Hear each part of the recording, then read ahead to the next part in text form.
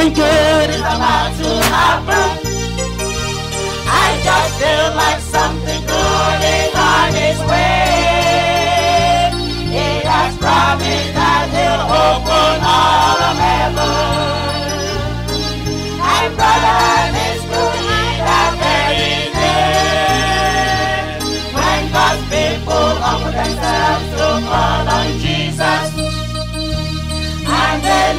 expecting as they pray.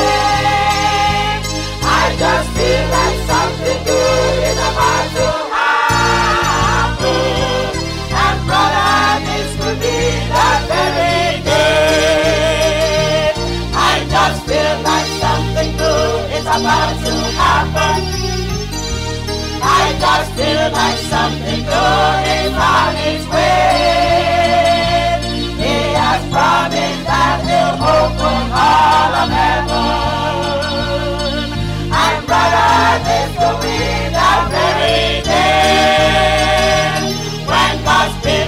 people themselves to call on Jesus. And they look to heaven expecting as they pray. I just feel like something good is about to happen. And brother, this could be the very day. I have learned in all that happened just to praise Him. For I know He's working all things for my good. Every day I share is worth all the investment. For I know He'll see me through, He said He. He has promised I no care can hardly fathom all the things He has in store for those who pray. I just feel like something good is about to happen. And brother, this could be that very day. I just feel like something good is about to happen. I just feel like something good is on its way. He has promised that he'll open all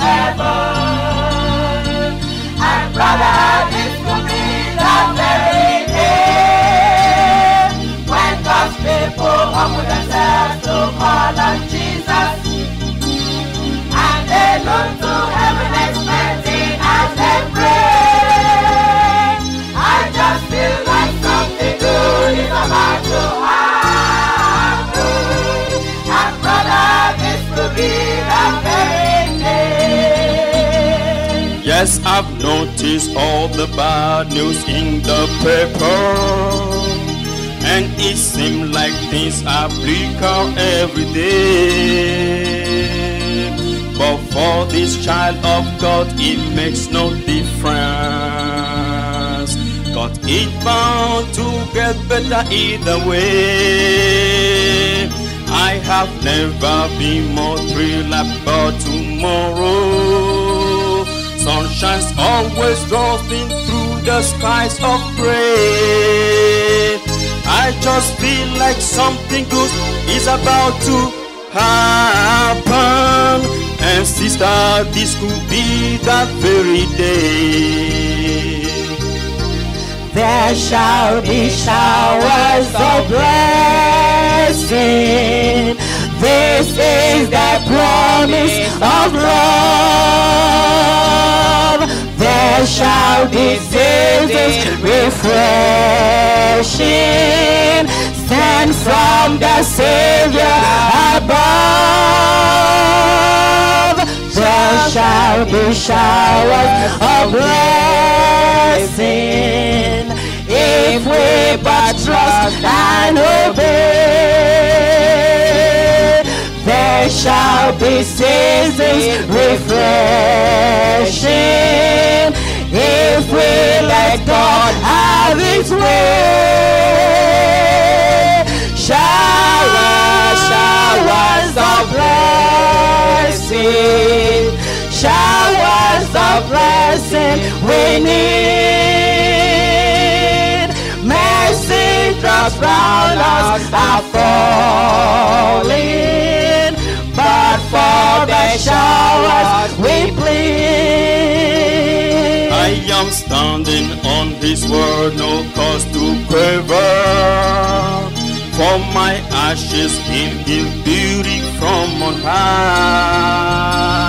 He will turn my test to mighty testimonies. He oil of joy from morning and this day. He will cause dry bone to rise and win in battle. He will make rivers the wilderness for me. I just feel like something good is about to happen. And sister, this could be the very day. I just feel, I just feel like something good is about to happen. Oh I just feel like something good is on its way. He has promised that he'll open all of heaven.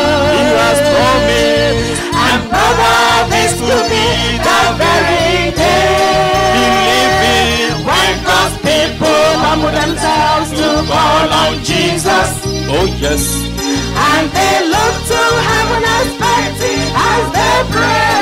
I feel it. I just feel like something good is about to happen. And brother, this could be the very Sister, this could be. I just feel like something good is about to happen. Dear brethren, I just feel like something good is on its way. do you believe? He has promised that he'll open all of heaven. Oh, he has promised. And brother, this could be the very People humble themselves to call on Jesus, Call on Jesus. and they look to heaven expecting as they pray. Oh yes, I just feel like something new is about to happen. And brother, this will be the very day. And brother, this will be, sister, this will be, brethren, this to be the very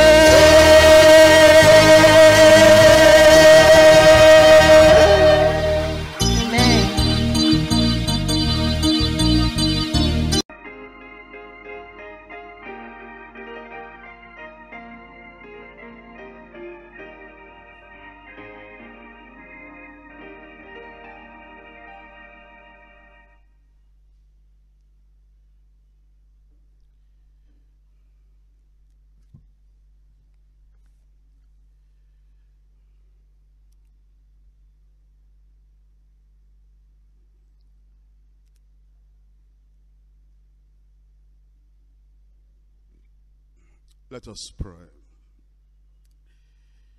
We're grateful to you, God, for our Bible study today, and we're thankful to you for your children who make it a point of duty to be here every time we study the Bible together. We're praying, Lord, that the blessing of studying the Word will come upon every believer here in Jesus' name. And also as hearing this through cassette, Lord, we're praying you grant them the same concentration, attention, and love that you grant us here. And we pray, O Lord, that the same blessing you are giving unto us, you give unto them in Jesus' name. Wake us up tonight. Enlighten us tonight. Show us the way tonight. That, Lord, what you are speaking to us will make a definite impact on every life and you turn us around to walk in the right direction as we move on to the heavenly city in Jesus' name. Open our eyes of understanding that we may see and behold wonderful things out of your word. In Jesus' name we pray. I welcome every one of you to our Bible study tonight. You know that I appreciate your coming. And this is an important book of the Bible, the last book of the Bible. It's the book of the revelation of the Lord Jesus Christ to his own children, to his own saints, to the church. Through the apostle John, it was signified by the hand of an angel. And because of that word, signified by the word, by the hand of an angel. That word signified means that it was symbolized. So you'll find a lot of symbols in the book of Revelation. We've studied Revelation chapter 1 already and we have seen the vision of the glorified Christ. One of the things that the Lord told John to do after he saw the vision is that he gave him a duty, a responsibility, an assignment. That assignment is write this down. And the Lord told him what to write. If you look at chapter 1, verse 19, write the things which thou hast seen, part 1. And then in part 2, and the things which are now in part 3, and the things which shall be hereafter. The Lord himself divided the book of Revelation into three parts. Part 1 is what we have studied. The things that you have seen. The glory of Christ, the splendor of Christ, the majesty of Christ, the dominion of Christ, the appearance of Christ has appeared from glory unto John in the Isle of Patmos. That's part 1. But then he told him to write part 2. The things which are what are those things? The things concerning the church. That's what you'll find in chapters 2 and 3. You'll find in chapters 2 and 3 the message of the Lord unto the church. Unto the church of this and of that and of that. Right. And then he gave the message. And he gave the message describing the condition of every church and the state of every church and the spiritual standing of every church. And all that you read in chapters 2 and 3, they are the message of the Lord, the bridegroom, the head of the church, the cornerstone in the church to the people of God, not only at that time, but all through the church age until the Lord will come. And then you see in part 3, as you look at that verse 19, and the things which shall be hereafter. What does that mean hereafter? It means after the church age, after the church had been raptured after the church had been taken away. That will be the part three, and you're going to write all about that too. And that he writes after I had written the things that are, the things concerning the church. And you'll find that in chapters 4 and 5, and then chapter 6, all through to 19, then chapters 20 to 22.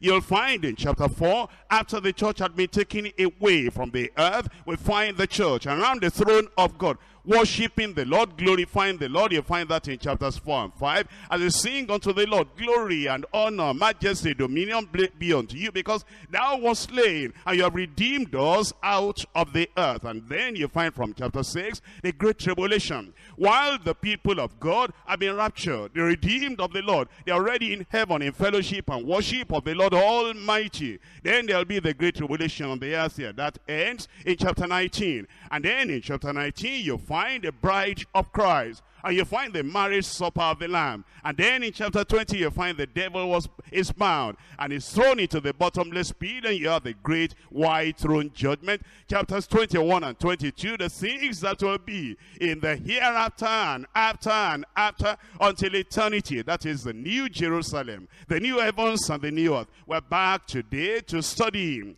the things concerning the church, the things that are. As you look at these two, as these churches, these two chapters, let me just give you a broad overview to start with. There are three things we're going to do here. Number one, you have a primary association. As the Lord wrote to the church through the pen of John, the beloved, you find in chapter 1, verse 11, and saying, I'm Alpha and Omega, the first and the last. He, what thou seest, write in a book send it to the seven churches which are in Asia. I've told you already, and you see it in the Bible yourself, that this book of Revelation is symbolic. There are some things, some materials there that are symbolic, and there are some numbers there that are symbolic. And the number seven here, I've told you many, many times, is the number for fullness, for completeness, for perfection, for finality, and for totality. And so when he says, you write to the seven churches in Asia, it's saying, this is the message for the whole church for the fullness and the completeness of the church, for the whole church in all the various ages until the end of time. Then he mentions the churches unto Ephesus, and unto Smyrna, and to, unto Pergamos, and unto Thyatira, and unto Sardis, and unto Philadelphia, and unto Laodicea. Those are the churches. As you look at those seven churches, representative of all the churches of all the ages, until Christ will come and take the church away. There are three things to see. Number one, there's a primary association. Number two, there is a personal application. Number three, there's a prophetic anticipation. Number one, there is a primary association. That means the message was sent to those churches.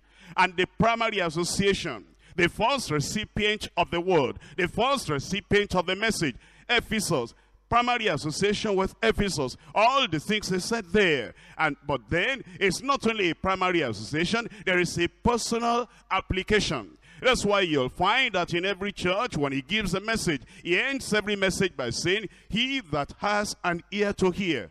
That's an individual. And that's a universal thing. And it's not just in Ephesus, and it's not just in Smyrna, and it's not just in Pergamos, anyone, anywhere. As you read this one, he that has an ear to hear, let him hear what the Spirit says unto the churches. That is, the message is not a limited message. It's not something that is limited to Ephesus or Smyrna or Pergamos or Thyatira or Sardis or Laodicea or Philadelphia. It's reaching to everyone. There is a personal application. Number three, there is a prophetic anticipation. You'll find you read all these letters. In fact, Jesus Christ said, there's prophecy here. I will come to you quickly.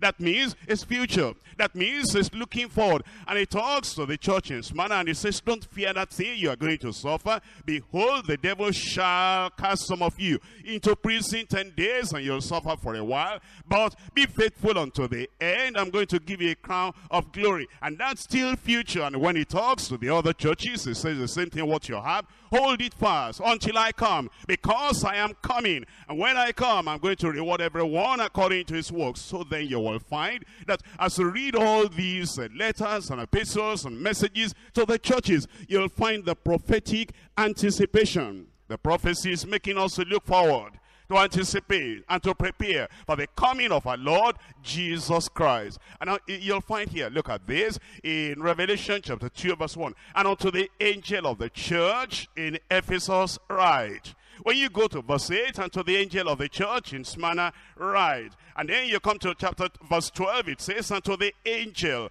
of the church in Pergamos, write. You come to uh, the latter part of the chapter, uh, and he's still saying the same thing. He's telling us in verse 18, unto the angel of the church in Thyatira write in chapter 3, verse 1, and to the angel of the church in Sardis write And then he comes to verse 7, unto the angel of the church in Philadelphia write verse 14, unto the angel of the church in Laodicea write So then you understand that the message was being sent to the angel of the church in every place. When he says the angel of the church, angel of the church. What does that mean? Because uh, you know that many people, when they read about angels, the only reference they have to angel is that angels are up in heaven. And when it says to the angel of the church in Ephesus and Smyrna and all those places, right?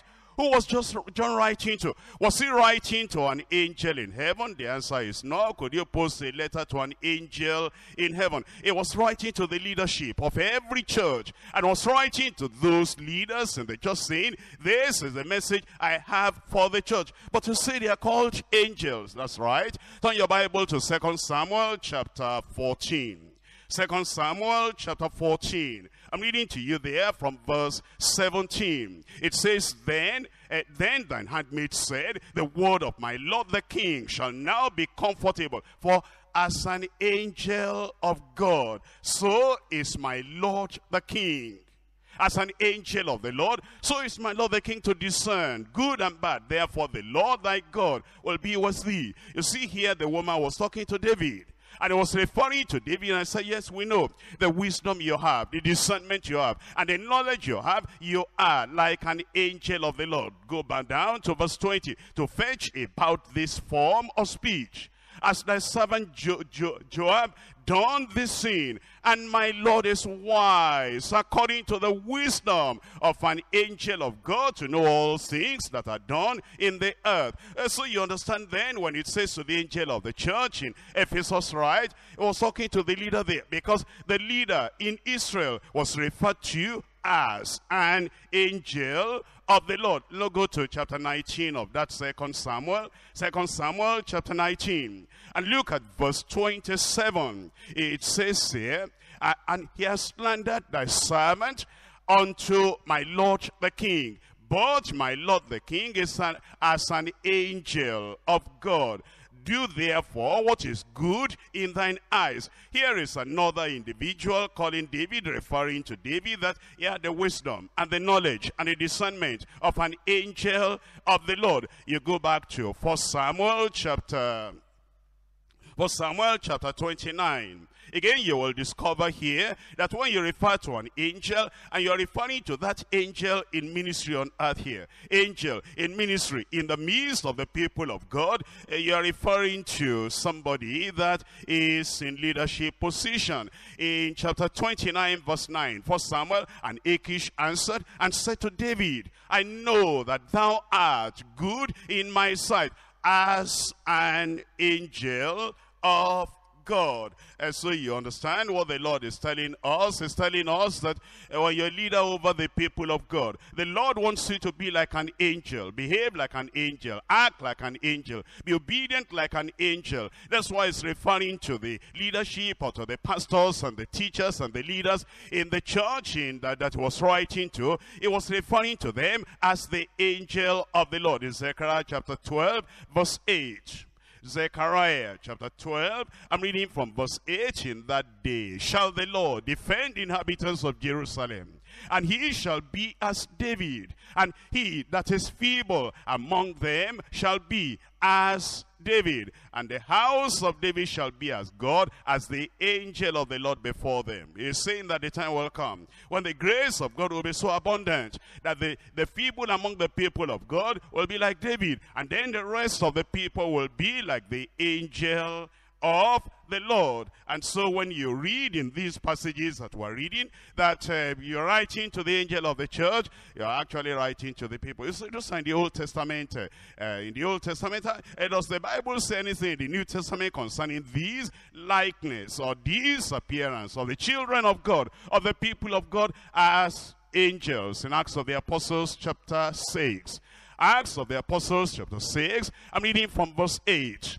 And Stephen, full of faith and power, did great wonders and miracles among the people. In verse 10, and they were not able to resist the wisdom and the spirit by which he spake. In verse 15, and all that sat in the council, looking steadfastly on him, saw his face, as it had been the face of an angel. And so you find then as uh, you look at the, uh, the letters and the epistles and the message that Jesus Christ sent through John, and he sent it to uh, these various churches, in particular the church in Ephesus today, when it says, unto the angel of the church in Ephesus, write, was referring actually to the leader there. Now Ephesus. This church in Ephesus, it was uh, a wonderful church at the beginning, because here is where Paul the apostle spent about two years. And before that time, Aquila and Priscilla had been ministering in that church. And Apollos, the most fervent and the most eloquent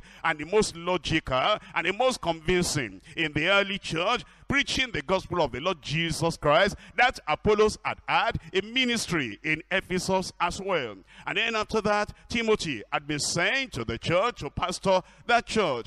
And of late, we are told in history at about 40 years to 50 years, John, the beloved, had been pastoring the church in Ephesus. And it was actually while he was ministering as apostle, as teacher, as pastor and prophet, in that church was uh, he taken by Domitian the emperor. And then he was banished unto the Isle of the Patmos. And it was from there he received this revelation that the Lord gave unto him to the various churches. Now we look at the message to the church in Ephesus today. We're looking at Revelation chapter 2. Please open your Bible. We're reading from verse 1. Revelation chapter 2 from verse 1. And unto the angel of the church in Ephesus write, This thing says he, that holdeth the seven stars in his right hand, who walketh in the midst of the seven golden candlesticks. I know thy works, and thy labor, and thy patience, and how thou canst not bear with them which are evil, and thou hast tried them which say the apostles and are not, and hast found them liars, and hast borne, and hast patience, and for my name's sake has labored and has not fainted. Nevertheless, I have somewhat against thee, because thou hast left thy first love. Remember therefore from whence thou art fallen, and repent and do thy first works, or else I will come unto thee quickly, and will remove the candlestick out of its place, except thou repent. But this thou hast, that thou hatest the deeds of the Nicolaitans, which also I hate. He that has an ear, let him hear what the Spirit says unto the churches.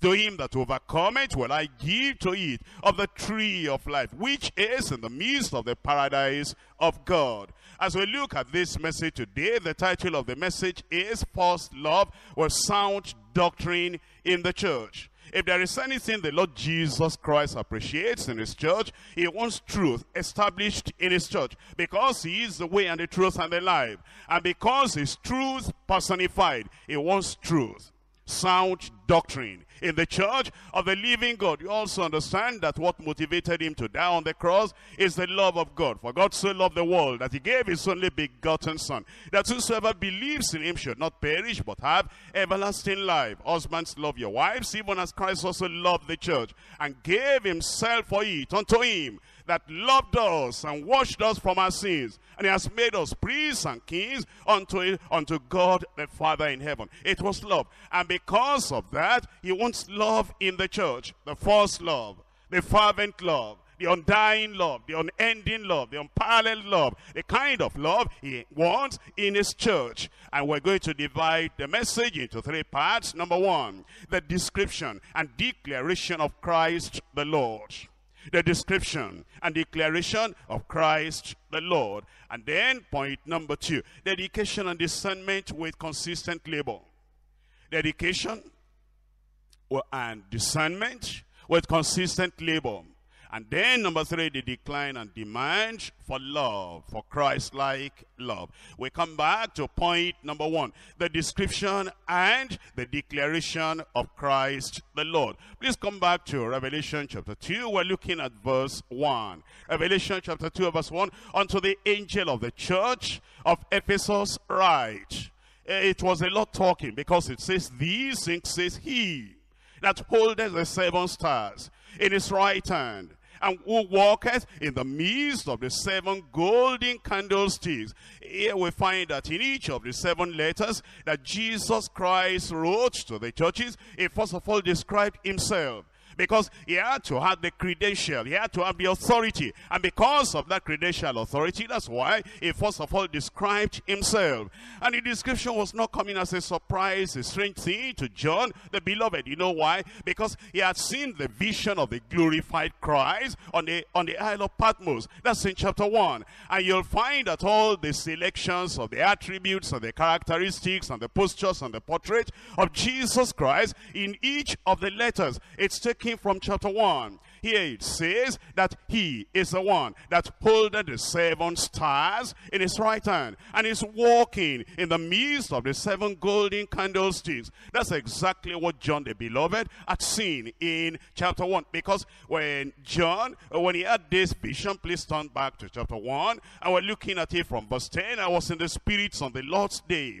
And I heard behind me a great voice as of a trumpet. And then that voice was saying something. The voice was describing himself. It says, I'm Alpha and Omega, the first and the last. And then when he had had that, eh, that was a surprise to him. Here he was in the Isle of Patmos, and the Alpha and the Omega, the Almighty, and the great one, the supernatural one, and the one that has dominion over all the earth, the first and the last, was talking to him. And then he says in verse 12, And I turned to see the voice that spake with me, and being turned, I saw seven golden candlesticks, and in the midst of the seven candlesticks, one like unto the Son of Man, clothed with a garment down to the foot, and girt about with paths and with a golden girdle. That's exactly what the Lord is repeating here. The Lord, as he, as he describes himself to the church in Ephesus, he said, he, there is, he, this is who I am. I am that one that holds the seven stars in my right hand. And I'm walking in the midst of the seven golden candlesticks. The description and the declaration of Christ the Lord. Uh, As you look at verse 10, verse, verse 20 rather, it says the mystery, the hidden knowledge of the seven stars, which thou sawest in my right hand, and it says, and the seven golden candlesticks, the seven stars are the angels of the seven churches, and the seven candlesticks which thou sawest are the seven churches. Now, when you read this, you need to understand, because uh, there are many people that may just read through the book of Revelation, and they don't have a clue as to what the Lord is saying. Uh, first of all, let, let me, uh, let me point out this to you. These things, says he, that holdeth the seven stars. And when it mentions the stars, what are you thinking about? Eh, you might be thinking that, well, Jesus Christ, the Son of God, and the King of glory, is holding the stars in heaven, and is holding them in his hand. Please remember once again, that the book of Revelation is symbolic. And when it mentions star, you need to be finding out what is this? What is this star? It's Jesus Christ himself. Look at the description of Jesus Christ in Revelation chapter 22 and verse 16. Revelation chapter 22 verse 16. I, Jesus, have sent mine angel uh, to testify unto you these things in the churches. I am the root and the offspring of David and the bright and morning, what's that? Star. Jesus Christ himself is referred to as a bright and the morning star. And he is a person. He is God. He is the Son of God. He is Jesus. He is our Savior, the Redeemer. He is referred to as the greatest of all stars, the bright and the morning star. When he says then, I hold the stars in my hand, eh, you need to understand what are those stars. Who are those stars? Actually, that wasn't a strange language to those, to the people that remember the Bible history very well. Please turn to Genesis chapter 37. Genesis chapter 37, I'm reading to you from verse 9. And he dreamed yet another dream, and told each his brethren, and said, Behold, I have a dream. I've dreamed a dream more. And behold, the sun and the moon and the eleven stars made obeisance to me. Here is Joseph and you know that there are 12 sons. And he said, the rest of the children, 11 sons, those are the patriarchs. Those are the leaders of each of the tribes of Israel. He said, all those 11 stars and the sun and the moon, they made obeisance to me. And he told it in verse 10, he told it to his father and to his brethren. And his father rebuked him and said unto him, listen to this, what, what is this dream that thou hast dreamed? Shall I, the sun, and thy mother, the moon, and thy brethren, the stars, indeed come to bow down ourselves to thee to the earth. You can see as far back as Genesis that the leadership of the people of each of the tribes of the children of Israel, they were referred to as stars. And in fact, when you come to almost the last book of the Bible, that is the last but one in Jude, you'll find that the people that are not preaching right and they're moving from one place to the other and they're preaching false doctrine. See the way they are described in Jude. I'm reading from verse 11. Woe unto them, for they have gone in the way of Cain, and ran greedily after the heir of Balaam for reward, and perished in the gainsaying of Korah. These are spots in your feast of charity. When they feast with you, feeding themselves without fear. Clouds are there without water, carried about with winds. Trees whose fruit withereth, without fruit twice dead, plucked up by the roots. Raging waves of the sea, forming out their own shame. Wandering stars. You see that? Those false prophets, wandering stars those people that were going about, roaming from one house to house, from one, one, from one place to the other, and they were preaching something wrong and foaming out their shame. They are called wandering stars to whom is reserved the blackness of the darkness forever. So then when it says the stars, it's referring to the people of God who are leading, who are leading others, the workers, the leaders, the pastors, the preachers, who are leading others in the way of the Lord. Well, you understand, as the, as the stars shine, so should the believers, especially the ministers of the gospel, so should we shine. Let your light so shine before men, that they may see your good works and glorify your Father, which is in heaven. That's why they refer to our stars. Come back to Revelation chapter 2. I'm reading to you from verse 1. Unto the angel of the church in Ephesus Ephesus, right? This thing says he that holdeth the seven stars. Again, seven is the number for completeness. All the stars, all the pastors, all the leaders, all the people that are leading others in this journey to life eternal. I'm holding the seven stars in my right hand, who walketh in the midst of the seven golden candlesticks. Now I mentioned golden candlesticks. Those are the lampstands. That is, the lampstands that bear the light. And he already explains to us what that is. If you go back to Revelation chapter 1 and in verse 20, the mystery of the seven stars which thou sawest in my right hand. And the seven golden candlesticks, what are they? The seven stars are the angels of the seven churches, are the leaders of the seven churches, are the preachers in the seven churches, are those apostles and leaders in the seven churches. And the seven candlesticks, the seven lampstands, and the seven uh, materials and equipment bearing the light that, that thou sawest, those are the seven churches. The lampstands, the candlesticks are the seven churches. Why are they golden? Because they are precious. Why are they golden? Because they are pure.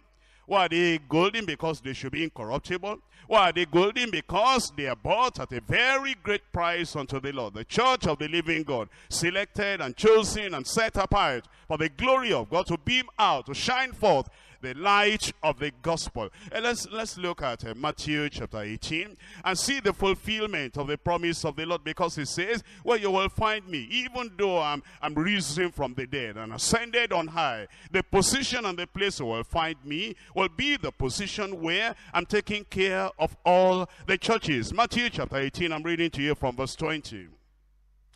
For where two or three are gathered together in my name, there I am in the midst of them. And where do we find him? He that holdeth the seven stars and who walketh in the midst of the seven golden candlesticks. That's exactly what he had said.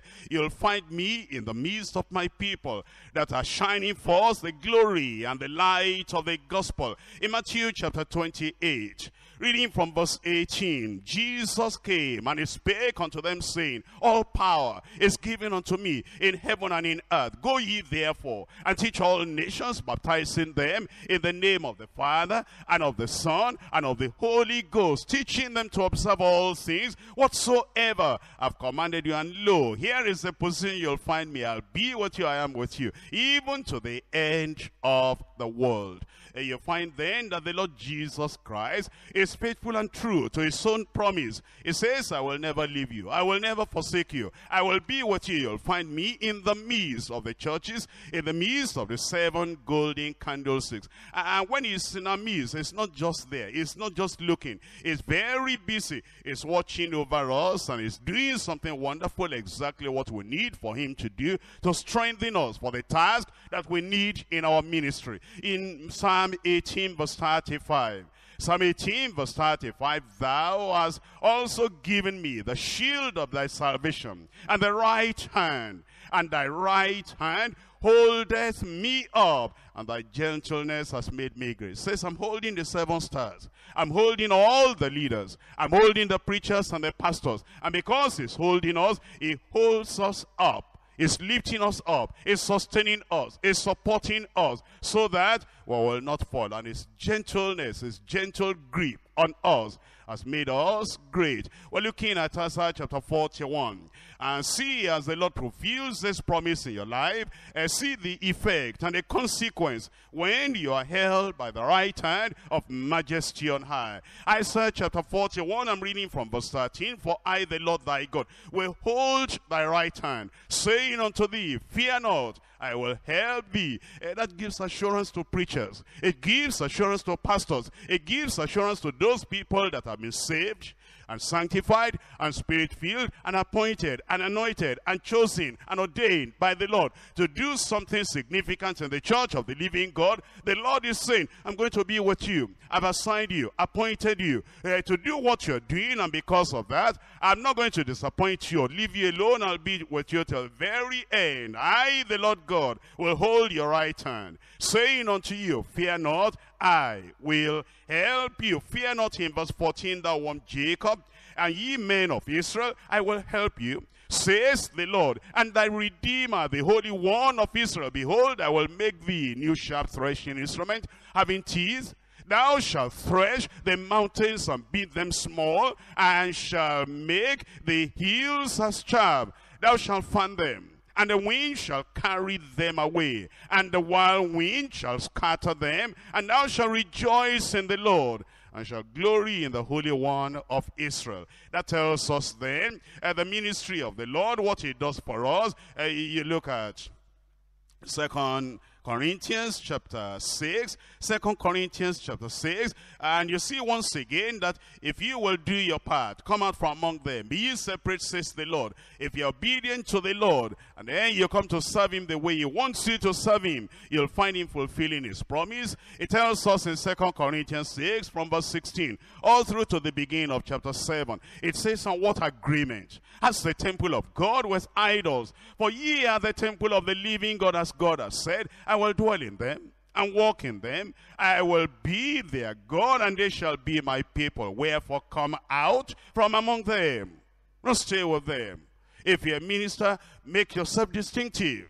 If you're a child of God, make yourself distinctive. Come out from among them. You're coming out of the world. You're coming out of sin. You're coming out of every pollution and every perversion that's there in the world. You're not joining them in their habits, in their character, in their misdeeds, in their misdemeanor. You're, you're, you're walking according to the word of the Lord. Wherefore come out from among them. That's a call to holiness. That's a call to purity. That's a call to sanctification. That's a call to righteousness. Because you remember now, it says unto the angel of the church in Ephesus. That means then, as angels are high, you have a high calling. As angels are heavenly, you have a heavenly calling. As angels are holy, you have a holy calling. And because of that height, and because of that holiness, and because of that heavenliness, that's why he says, come out from among them, and be you separate, says the Lord, and touch not the unclean thing, and I will receive you and will be a father unto you. And ye shall be my sons and daughters, says the Lord Almighty, having therefore these promises, dearly beloved. Chapter 7, verse 1. Let us cleanse ourselves from all the filthiness of the flesh and the spirit, perfecting holiness in the fear of God. And that's what the Lord is telling us. He's saying that if we will be obedient to him, then he will honor us. And his presence will be with us. In John chapter 14, verse 23. John 14, verse 23, Jesus answered and said unto him, if a man love me, he will keep my words. And my Father will love him, and we will come unto him, and will make our abode with him. Come back to Revelation chapter 2, and you see in that verse 1, you see the fulfillment of the promise of God. It says, what I said I will do, I'm doing. Where I said I will be, I am there. I said I will help my people, I will hold them up and they will not fall because I'm sustaining them with my grace. And that's exactly what I'm doing. Therefore, John, write unto them, especially now to the angel of the church in Ephesus, this is what you are going to write. These things says he, that told us the seven stars, you know them now, in his right hand, who walketh in the midst of the seven golden candlesticks. And now, when he says he's walking in the midst of the seven golden candlesticks, what's he doing there? Number one, is there to examine and to evaluate. That's why he says, I know your works. And he tells every church, I know your works. I'm examining you. I'm evaluating you. Number two, to correct and to encourage. He corrected all these churches where there are some things to reprove and some things to change and some things to turn around and some things to transform and the work to be done better. He corrected them and then he encouraged them. Number three is to deliver them and defend them in times of danger. That's why he says, I'll never leave you. I'll never forsake you. And there is nothing for you to fear. Nothing in the air.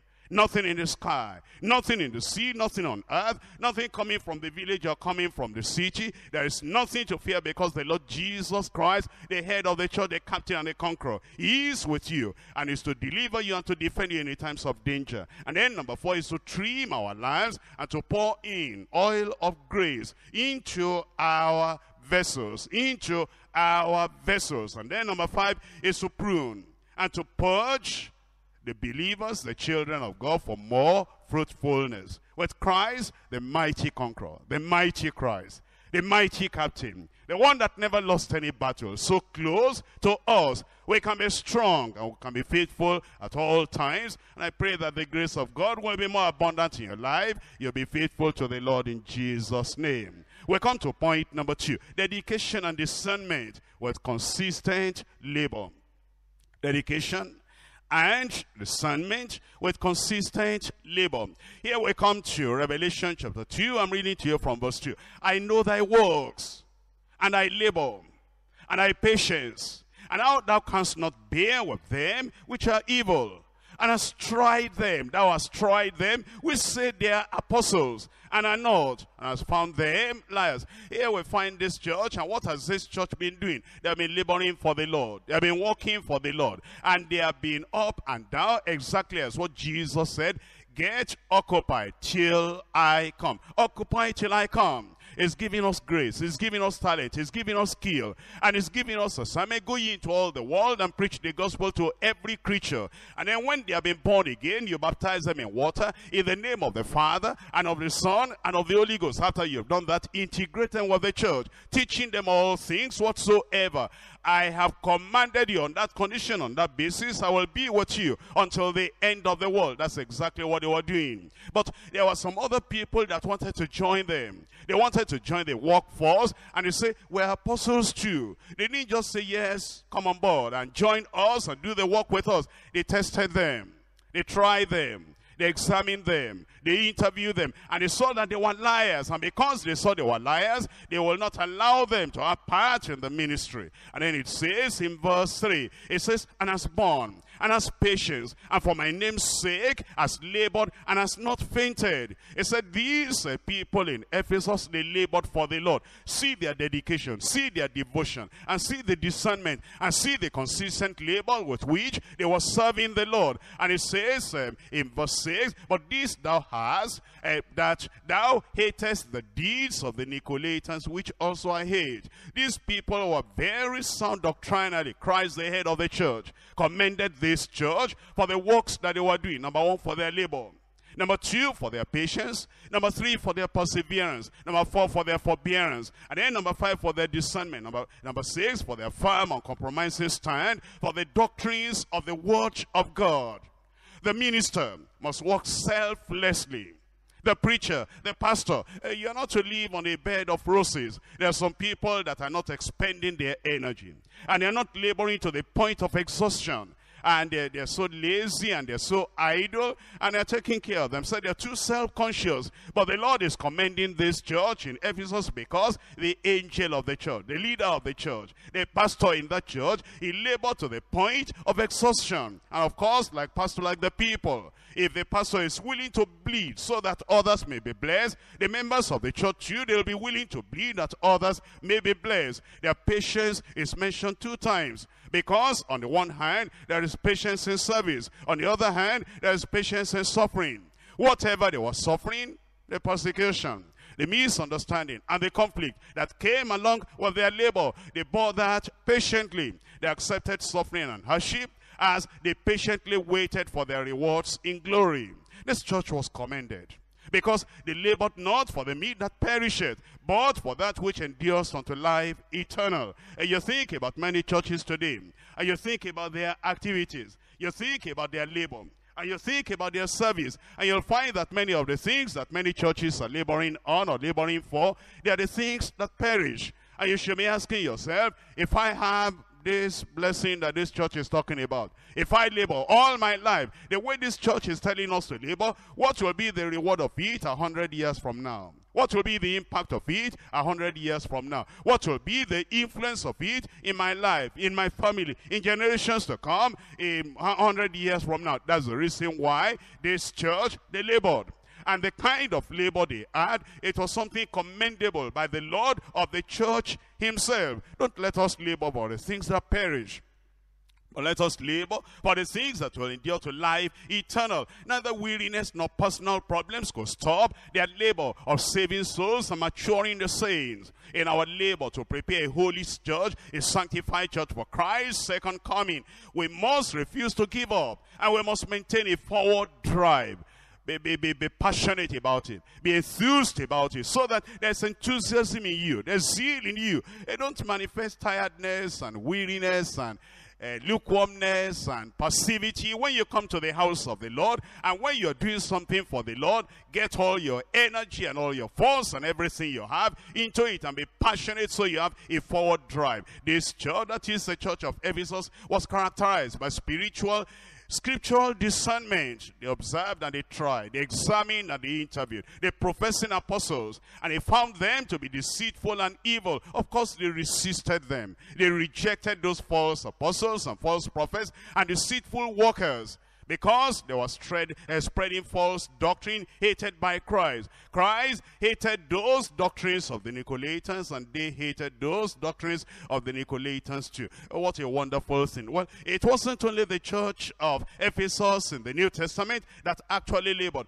You find the church in Thessalonica, for example, in First Thessalonica chapter 1, verse 3, you find the description of the faithfulness of this church and the labor of this church and the patience of this church and the hope of this church. Look at teaching. um, and we're looking at teaching. in First Thessalonians chapter 1 and in verse 3. It says, remembering without ceasing your walk of faith and your labor of love and your patience of hope in our Lord Jesus Christ in the sight of God and our Father.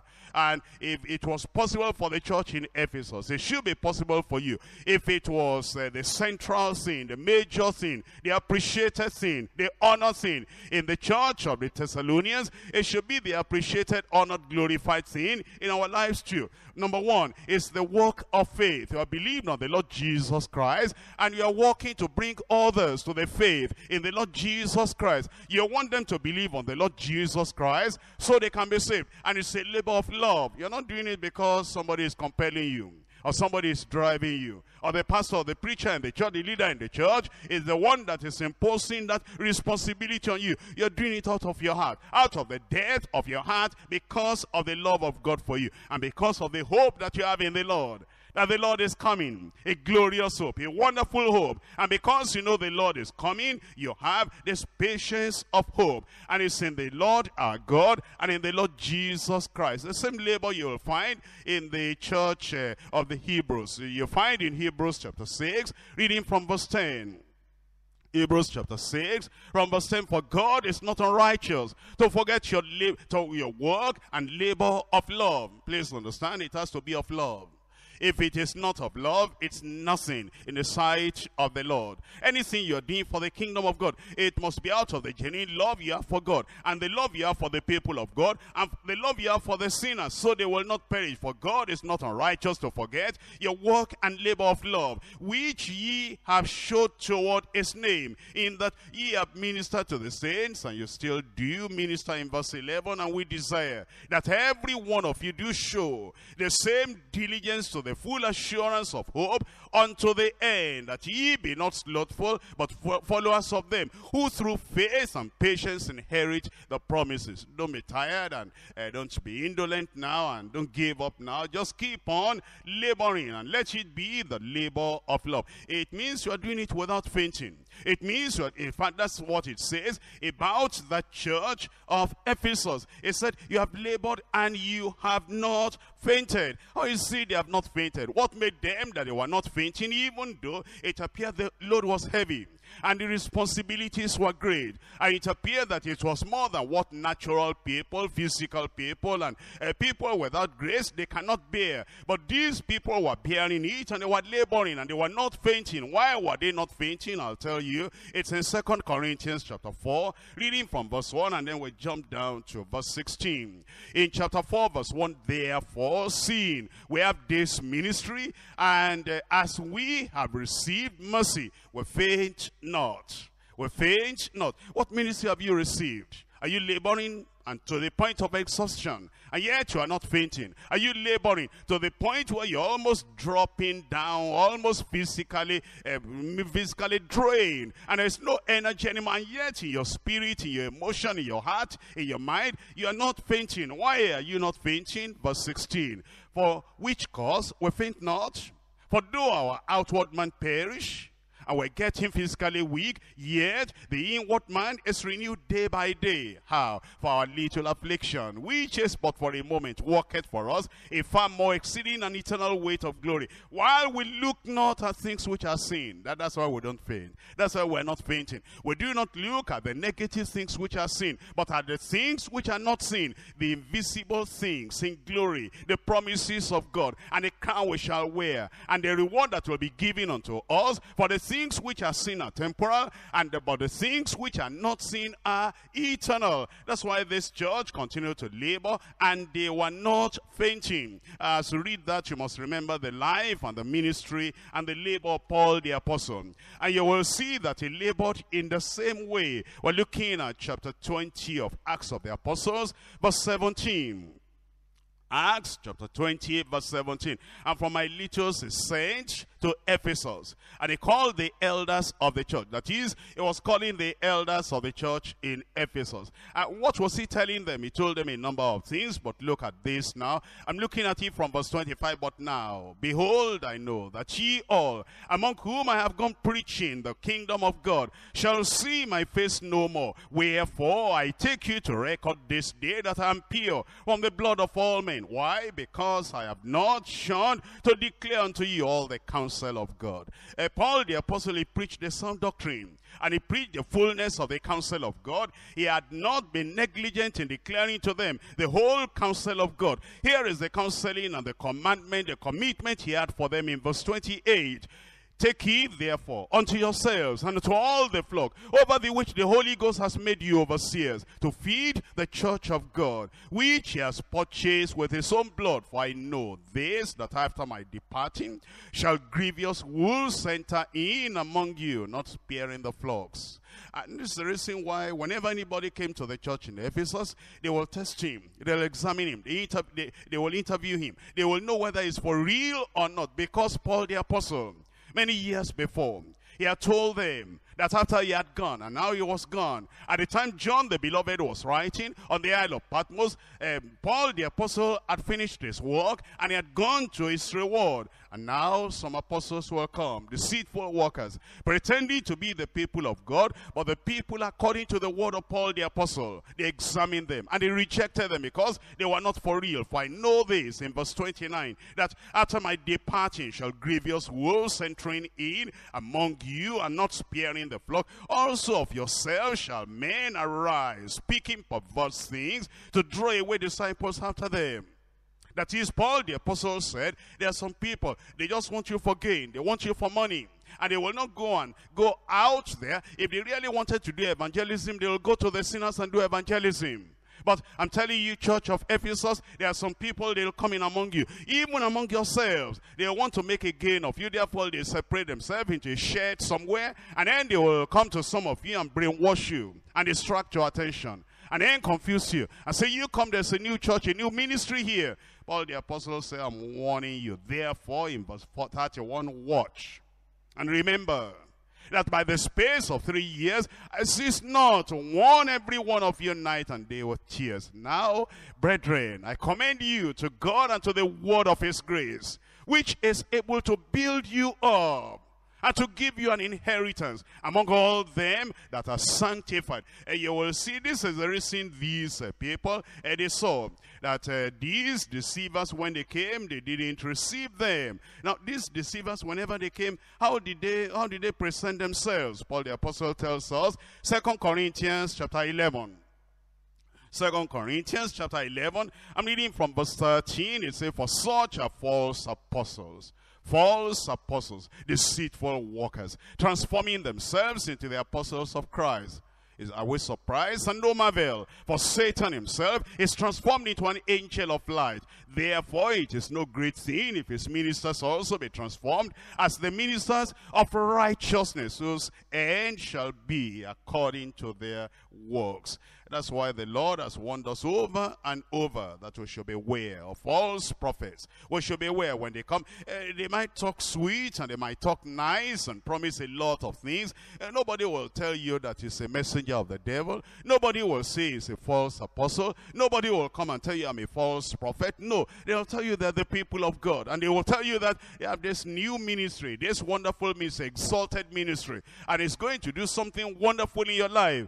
And if you are the one that is shopping, you, you, are, you are a religious uh, shopper, you, are, you're going to market, it's like you're looking for this and looking for this and tasting here and tasting there. And you're not really a child in the family. And you're not a sheep in the fold. And you're not stable. You'll be hopping around like grasshoppers. And yet, it's going to destroy you because those people are very, very destructive. That's why we're warned in Romans chapter 16. Romans chapter 16, I'm reading from verse 17. Now I beseech you, brethren, mark them, which cause divisions and offenses contrary to the doctrine which ye have learned, and avoid them. And do what?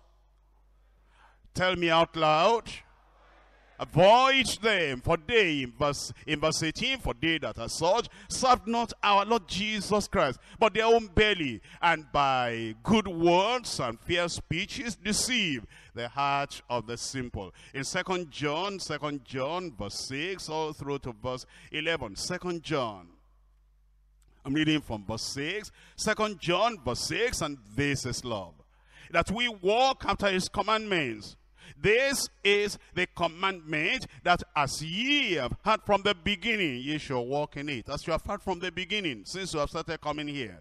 The word of repentance, and the word of righteousness, and word of restitution, and the word of sanctification, and the word of one man, one wife, and the word of the second coming of the Lord, the word of the rapture before the tribulation, and the word that the Lord is telling us without holiness, no man shall see the Lord, that as you have heard from the beginning, ye should walk in it. Because many people will come to tell you that those are the olden days. Those are the times of the past. For many deceivers are entered into the world who confess not that Jesus Christ has come in the flesh. This is a deceiver and an antichrist. Look to yourselves that we lose not those things which we have wrought, but that we receive a full reward. Whosoever transgresses and abideth not in the doctrine of Christ, he has not God. Whosoever, whosoever, whosoever, anyone, a pastor, an apostle, a bishop, whatever they call themselves, if they do not abide in the doctrine of Christ, they do not have God. He that abideth in the doctrine of Christ, he has both the Father and the Son. If there come any unto you, might be your relative. If there come any unto you, might be the person that brought you into this church long ago, many years ago, and you had profited uh, spiritually uh, from his preaching sometime many years ago, but now, if any come unto you and bring not this doctrine, Sanctification is not important to him anymore. Humility is not important to him anymore. Submission to the will of God, to the word of God, is not important to him anymore. Heaven and holiness without which no man shall see the Lord is not important to him anymore. If there come any unto you and bring not this doctrine, receive him not into your house, neither bid him Godspeed. For he that biddeth him Godspeed is a partaker of his evil deeds. And that's the challenge the Lord has given us. And that's the challenge that the church in Ephesus were living right to. We come back to Revelation chapter 2. And now we're looking at these two verses, verses 4 and 5 that although these uh, people were holding on to some doctrine, there's something that ha happened in their midst. And this is the decline of love. And now the Lord was demanding they'll come back to Christ-like love. Point number three. It's the decline of and the demand for Christ-like love. I'm reading to you from, uh, from Revelation chapter 2, verses 4 and 5. Nevertheless, I have somewhat against thee, because thou hast let thy first love.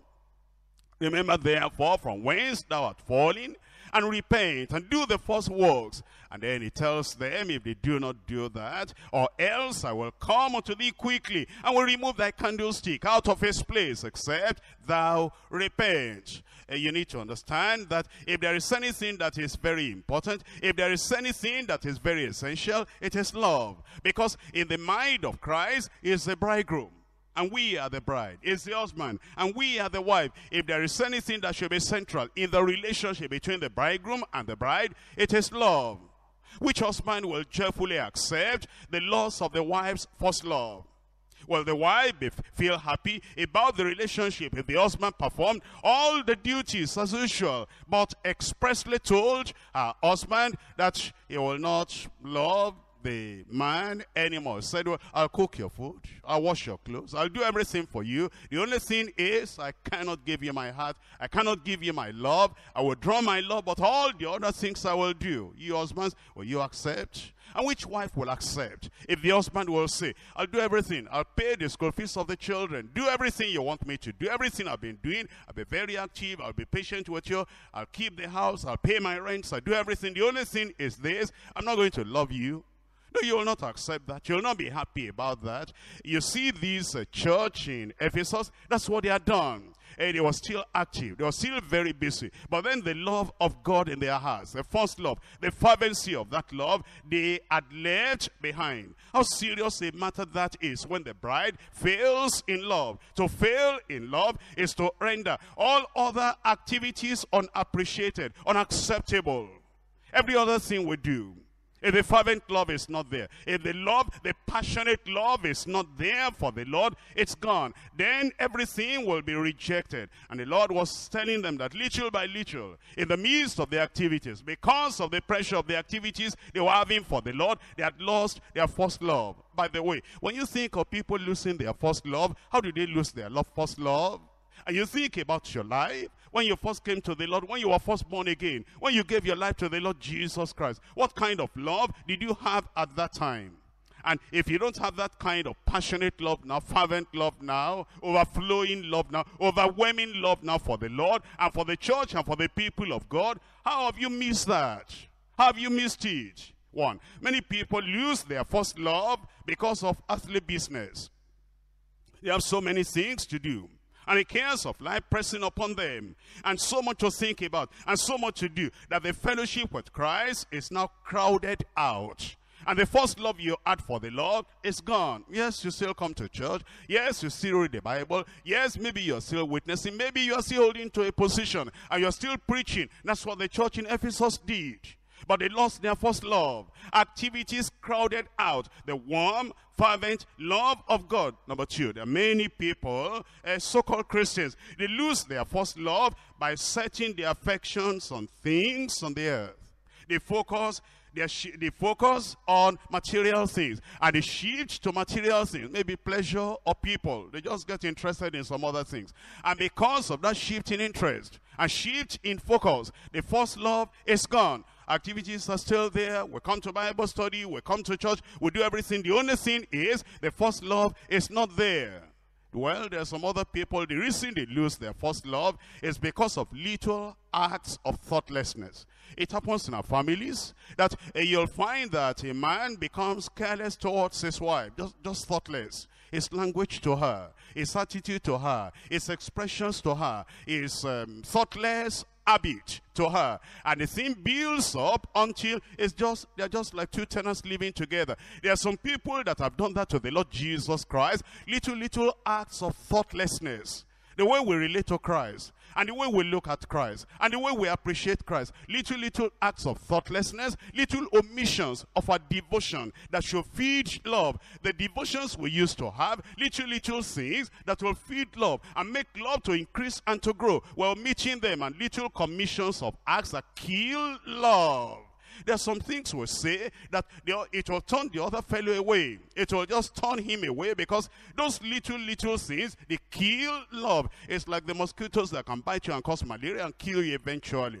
And there are some people that have those little, little things, careless actions careless omissions and careless, uh, you know, they drop their conviction and their consecration and their vows. And eventually, all those uh, things they used to do, because the cold wind of temptation and what the association is blowing upon them, and it dampens their first love.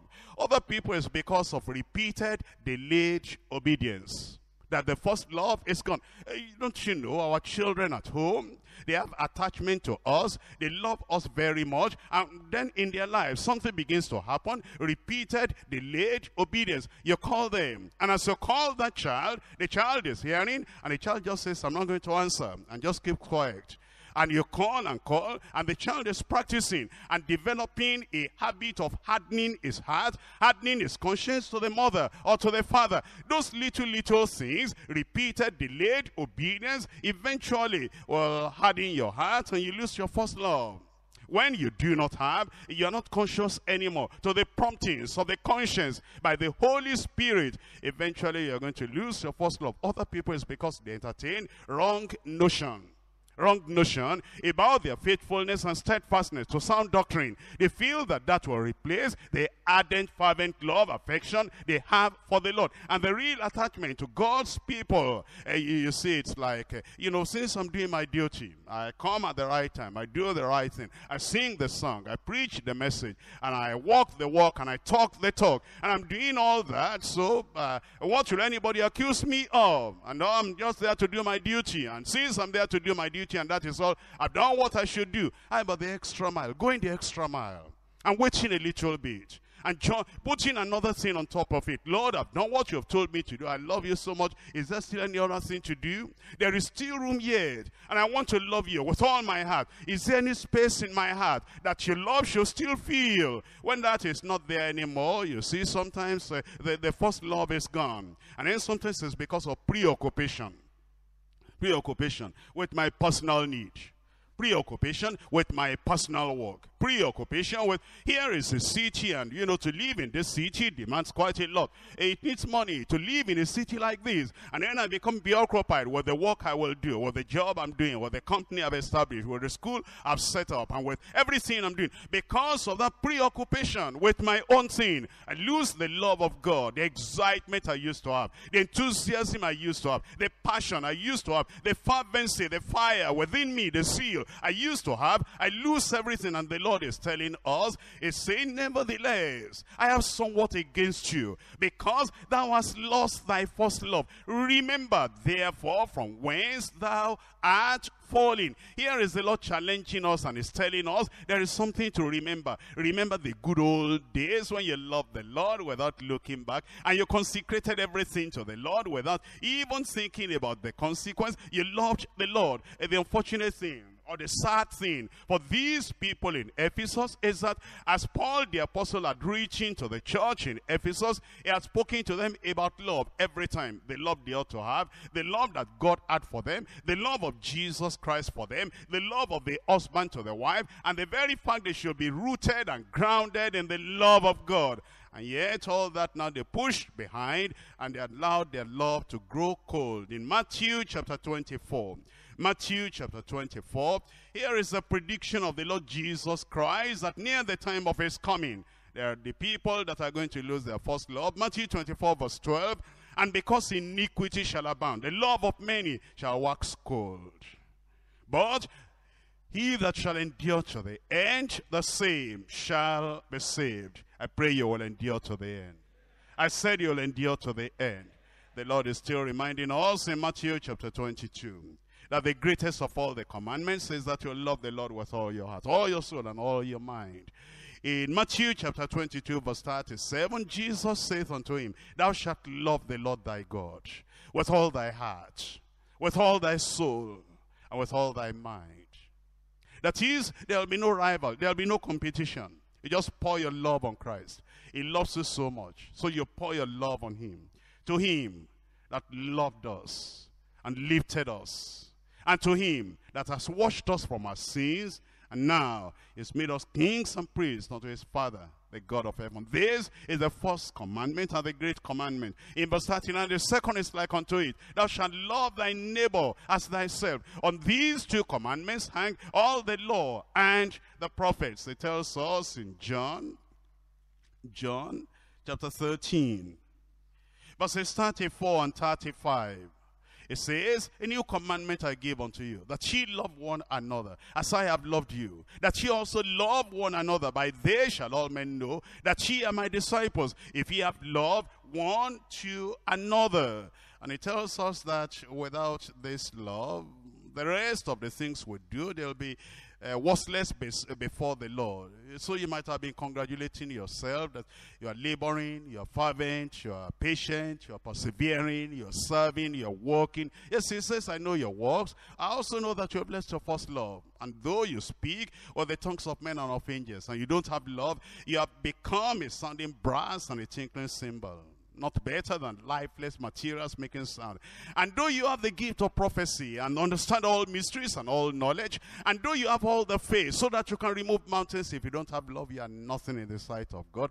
And though you bestow your goods to feed the poor, and though you give your body to be burnt, if you don't have this love, this first love, it profits you nothing. This love we're talking about suffers long and is kind, and it envies not, and it wants not itself. It's not puffed up. It does not behave itself on unseemly. It seeks not her own. It's not easily provoked. It does not think evil. It does not rejoice in iniquity, but rejoices in the truth. It's the love that will bear all things for the sake of Christ. It's the love that will believe all things because of Jesus. It's the love that will hope all things and will endure all things. Now we know that faith and hope and love abide. But these three, the greatest of these is love. That's why the Lord is telling us that we need to recover, rediscover, and return to the first love that we used to have. It tells us in First Peter chapter 1, verse 22, Seeing ye have purified your souls in obeying the truth, through the Spirit unto unpretending love, unhypocritical love, unfeigned love, of the brethren. It says, see to it, see that ye love one another with a pure heart fervently. Uh, the Lord is uh, asking that we, is now the church Ephesus of Ephesus, you know, their time is gone. This is not our time. Remember, therefore, from whence thou art fallen, remember and then repent and do the first works. That means repeat what you did before. Uh, do you still love the Lord above money, about men, about material things. The Lord is saying, recollect, remember. And if you see you've lost your first love, repeat what you've done before, repent. It's your affection for Christ, your love in his presence, and your joy, and your desire for his fellowship is still still as fresh, as warm as it was in your early life, early Christian life. Remember, repent, repeat. Are you still close to the Lord? Are you as close to the Lord as you used to be? And you are closer to Christ than you are to the world? Or are you moving away from Christ and then you are getting closer and closer to the world? Remember, repent and do the first works. Are you still sensitive to his wish and to his will?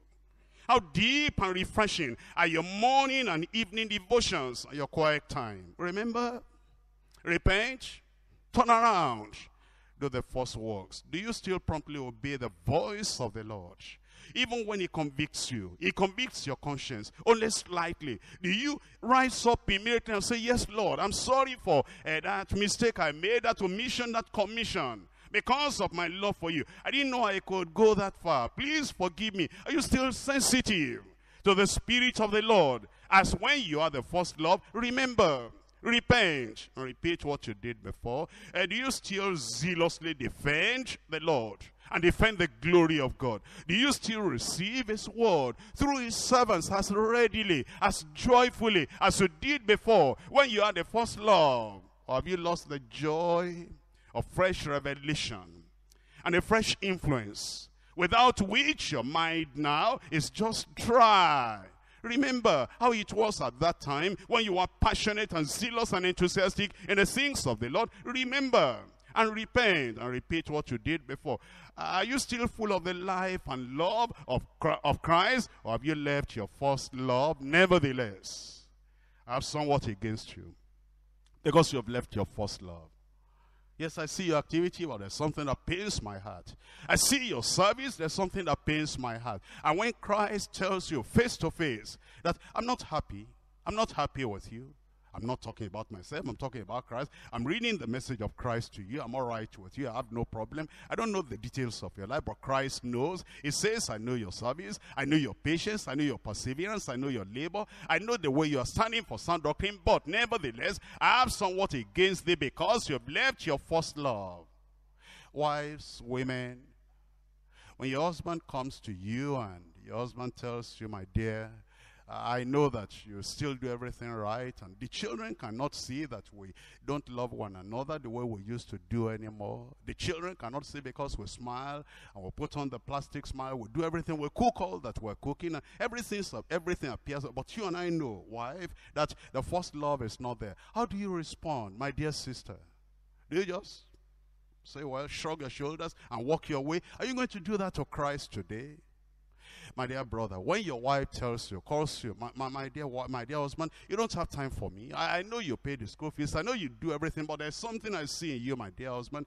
You don't love me the way you used to love me. Do you just shrug your shoulders and walk away? Are you going to do that to Christ? Christ is saying, remember, from whence thou art fallen, why don't you repent and do the first works? I'm watching and waiting for that first love. If you don't have that first love, I'm going to come and remove the candlestick out of his place, except you repent. Now, in history, we're told the church of Smyrna is still there. Even to this present day, the church of Ephesus is no more there. It's gone. The candlestick is removed. Which will it be for you? Will your candlestick remain or will it be removed? Let's rise up and pray.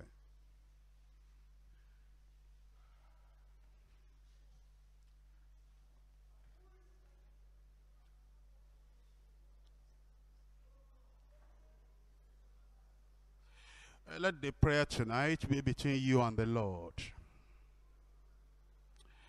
Meditate and think seriously about your relationship with the Lord.